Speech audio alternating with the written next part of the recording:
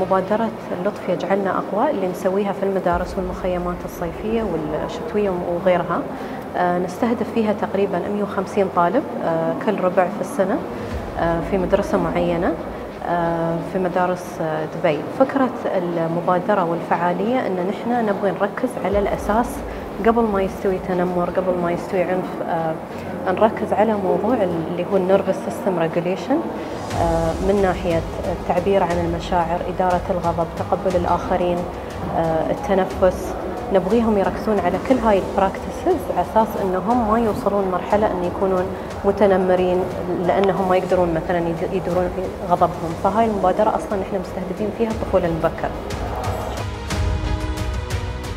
معكم موزن مزروعي من قسم التثقيف المجتمعي بمؤسسة دبي لرعاية النساء والأطفال.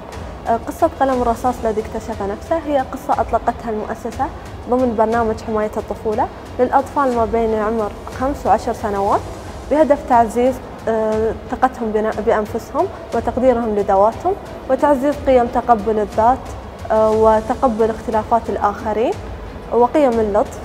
لمواجهة السلوكيات السلبية في حياتهم اليومية مثل سلوك التنمر.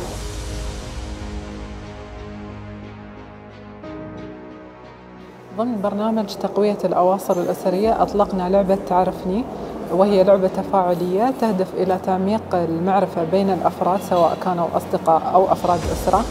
تنقسم اللعبة إلى قسمين. آه، القسم الأول تعرف على نفسك وهي مساحة تكتشف فيها ذاتك. القسم الثاني تعرف علينا. مساحة تكتشف فيها الآخرين وجوانب مختلفة من الشخصيات. يسهم برنامج تمكين المتعاملين في إعادة تأهيل ضحايا العنف من النساء والأطفال لكي يتمكنوا من اكتساب القوة والمهارات اللازمة لإعادة السيطرة على مجريات الأمور في حياتهم. يقسم البرنامج إلى تمكين المرأة وتمكين الطفل. تمكين المرأة يقسم إلى ثلاثة مشاريع مشروع التدريب المهني ومشروع التدريب الحرفي والمهارات الحياتية.